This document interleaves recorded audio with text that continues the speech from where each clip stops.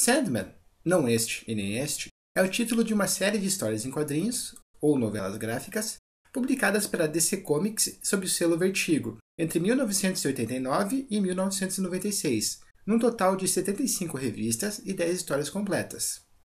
Com o roteiro de Neil Richard McKinnon Gaiman e o trabalho de diversos artistas como desenhistas, foi e ainda é considerado um grande sucesso de crítica e de vendas, tendo influenciado uma série de trabalhos posteriores e sendo também considerado um marco dos quadrinhos adultos e intelectuais, especialmente por causa do seu conteúdo maduro, histórias complexas e uma certa obscuridade em suas histórias.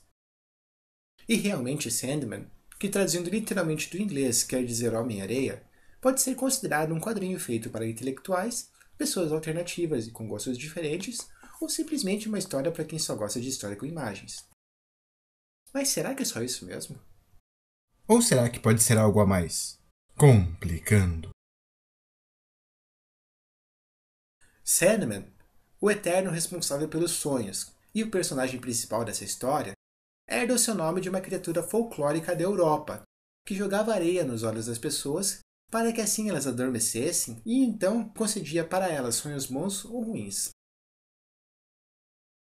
Apesar desse título, possui vários outros nomes, incluindo João Pestana. E é um dos Eternos, ou seja, é uma das únicas sete entidades do mundo que são eternas, junto com o destino, morte, desespero, delírio, destruição e desejo. E apesar de muito poderosos e mesmo puramente conceituais, os Sete Eternos são figuras antropomorfizadas nessa história, possuindo características e sentimentos bastante humanos. Por exemplo, é mostrado como o sonho deseja um amigo e também como ele causa confusões e fica com o coração partido quando tem um romance mal sucedido.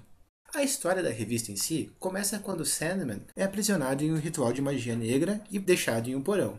A data deste fato foi 6 de junho de 1916, e ele só vai conseguir se libertar quando o guarda sonha perto dele, o que só acontece em torno de 1988, pouco antes do fim da Guerra Fria e do lançamento da primeira edição de Sandman em quadrinhos. E certamente, não é de se estranhar a ideia de que nesse período que englobou duas guerras mundiais e mais uma Guerra Fria, a humanidade tenha passado pouco mais de 70 anos sem o sonhar. Uma vez libertado, Sandman tem que se alimentar dos sonhos, readquirir seu poder e organizar novamente o reino dos sonhos dos seus súditos, os personagens existentes nos sonhos, o que envolve fazer uma jornada atrás de pessoas, personagens de sonhos que fugiram para a realidade e até mesmo ir para o inferno. E novamente, não é de se estranhar esse enfoque um tanto surrealista para os sonhos modernos. Feito isso, o foco muda completamente para outras histórias, sejam elas mitológicas, como a história de Orfeu, ou mesmo eventos históricos, como a vida do imperador romano Caius Júlio César Otávios, as histórias de Shakespeare e a simpática história do primeiro e último imperador dos Estados Unidos. Principalmente, Gaiman promove uma colocação do sonho nessas histórias e mitologias, inclusive nas mitologias modernas. E o Secon está colocando um pouco de imaginação e filosofia. E um dos temas dessa filosofia é o quanto que a influência dos sonhos pode ser diferente para cada pessoa. Por exemplo, há biógrafos de Shakespeare que consideram, especialmente com base em seus sonetos, que este sonhava em ser um grande escritor, objetivo pelo qual trabalhou por toda a sua vida, mas, conforme fica velho, começa a se arrepender de não ter realmente vivido tudo o que poderia, justamente por ter apenas perseguido o seu sonho. Por outro lado, Joshua Abraham Norton, personagem que ganhou fama e credibilidade na Califórnia, é alguém que, após perder tudo, consegue encontrar um sentido de vida e fugir do desespero e da loucura sonhando que era o imperador dos Estados Unidos. Salvo por seu sonho, foi responsável por entreter e mesmo tentar criar um mundo diferente, inclusive realizando esforços para tentar evitar e mediar a violenta guerra da secção dos Estados Unidos. Mas em todo caso, o que essa história quer dizer? Antes de mais nada, vamos falar sobre o tema principal dela, Sandman, ou seja, sobre os sonhos. Para Freud, os sonhos seriam produções advindas do nosso psiquismo reprimido, do inconsciente, que podem sair quando adormecemos e nosso controle diminui. Jung considera que os sonhos são expressões vivas e simbólicas do inconsciente e o meio de obter conhecimento. Edgar Morin fala que cada sonho é uma realização irreal que aspira à prática, sendo teleológico. Por exemplo, o sonho da alquimia levou ao desenvolvimento da química. O sonho de voar levou ao avião. E para Gaiman, O sonho é o príncipe dos símbolos e das formas que aparentam ser outra coisa do que são, da metáfora, da alusão. O sonho, de certo modo, é tipo como a própria história, o precursor de todas elas. E apesar de meio doido, como o sonho define tudo o que não é, por oposição, ele também define tudo o que é.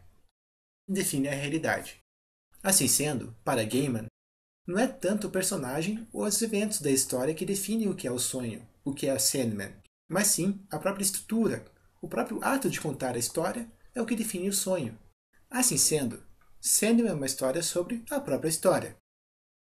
Neil Gaiman, com seus quadrinhos, promove assim a possibilidade de recontar uma história pronta de um outro modo, de sonhar ela um pouco, meio que indo contra essa tendência moderna de ter apenas um único modo de contar alguma coisa e essa tendência de aceitar uma única narrativa como a verdadeira.